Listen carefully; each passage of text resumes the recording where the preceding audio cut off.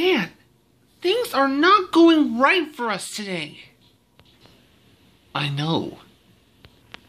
I mean, PJ Crenshaw and Sweetie Belle broke up because he kissed Zuzu. I know.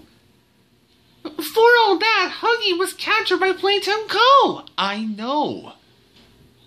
We gotta find a way to fix this and fast. I know. Why do you keep saying that? I don't know. Still, I hope Huggy's okay.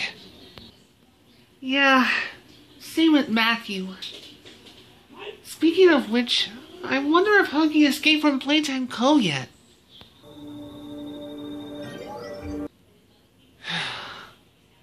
It is done.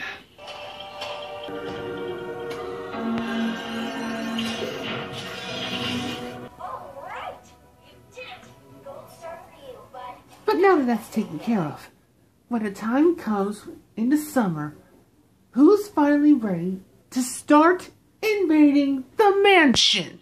Ready? After a thousand years, I've thought of nothing else. Why, experiment 1006.